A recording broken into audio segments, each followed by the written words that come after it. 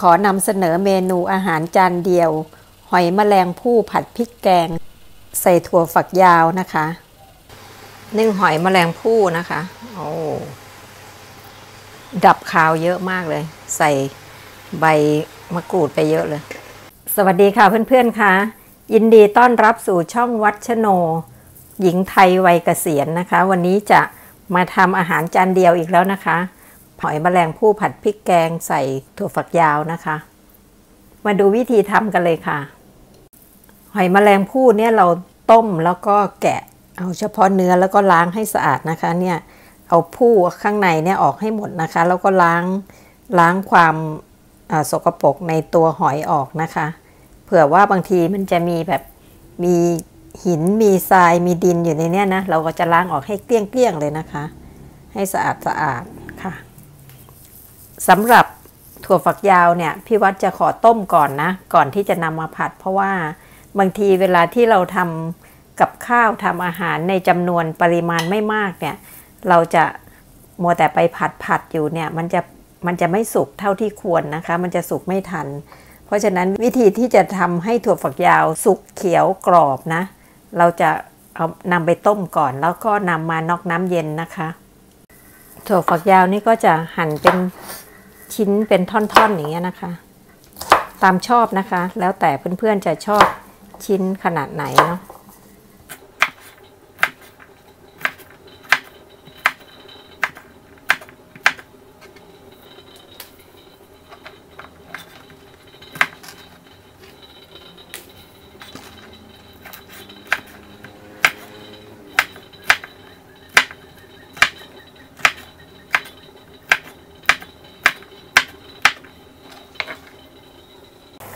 เราจะต้มถั่วฝักยาวก่อนนะคะ น้ำเดือดเดือดใส่เกลือลงไปเล็กน้อยค่ะ ใส่แล้วก็ใส่ถั่วฝักยาวลงไปค่ะ เพื่อให้มันสุกเท่าๆกันนะคะ เวลาที่เราทำกับข้าวจำนวนไม่มากนะ เวลาเราผัดผักเนี่ยมันจะไม่ทันไง มันจะสุกไม่ทันแล้วมันจะทำให้เขาเรียกว่าอะไรนะ มันเฉาไฟอะไรประมาณนี้ค่ะ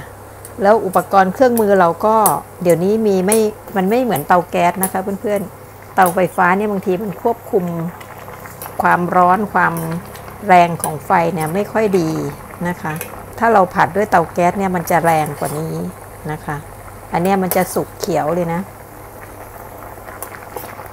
เนี่ยค่ะ สุกทั่วๆเลยแล้วเราก็ไปนำไปนอกน้ำเย็นนะ อันนี้จะได้ถั่วสุกแล้วก็เขียวกรอบด้วยนะคะ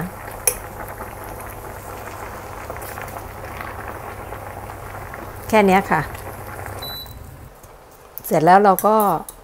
นำมาน็อกน้ำเย็นเลยนะคะ อันนี้เป็นน้ำเย็น น้ำเย็นจากตู้เย็นเนี่ยค่ะ แล้วก็จะคงความเขียวกรอบนะสำหรับคนที่อยู่หอพักอยู่คอนโดที่ทำอาหารทำกับข้าวจำนวนไม่มากนะ ใช้วิธีนี้ค่ะ จะมาผัดพริกแกงให้หอมก่อนนะคะ ตั้งกระทะให้ร้อนค่ะ แล้วก็ผัดพริกแกง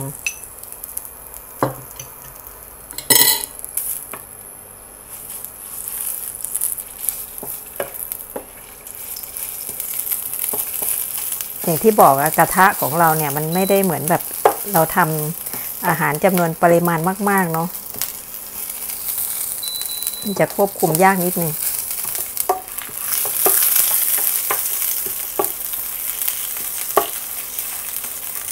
ทำอาหารทานเองนะคะเพื่อนๆผัดแบบนี้นะคะ แล้วเราก็ใส่อะไรลงไปดี คือหอยเราก็ต้มมาเสร็จแล้วนะคะ เราก็จะ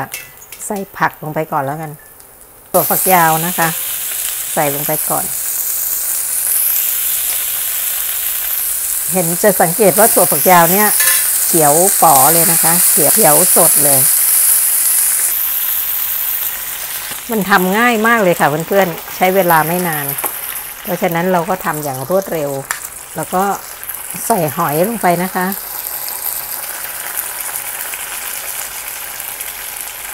หอยแมงผู้เรา ล้างไว้เรียบร้อย ต้มเรียบร้อย แล้วก็ปรุงรสนะคะ ปรุงรสด้วยน้ำมันหอย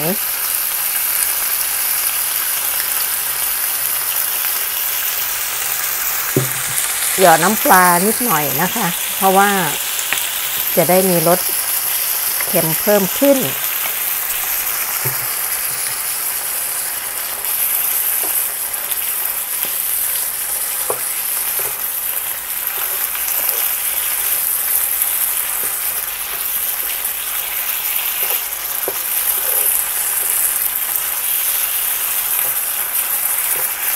สุกแล้วค่ะ สุกแล้วก็จะใส่ใบมะกรูดเข้าไปนะคะ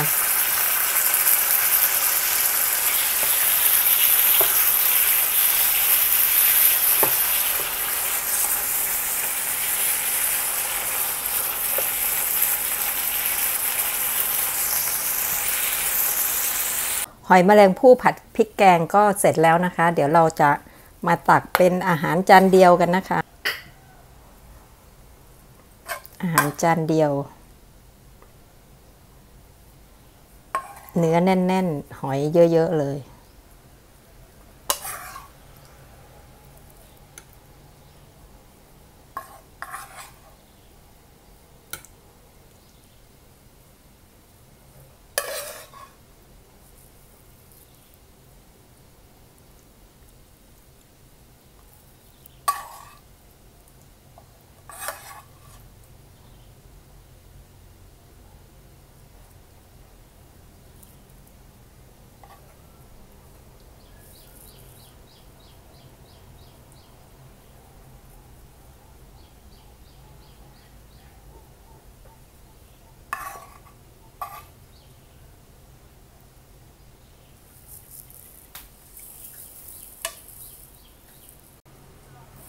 แค่นี้ก็พร้อมรับประทานแล้วนะคะ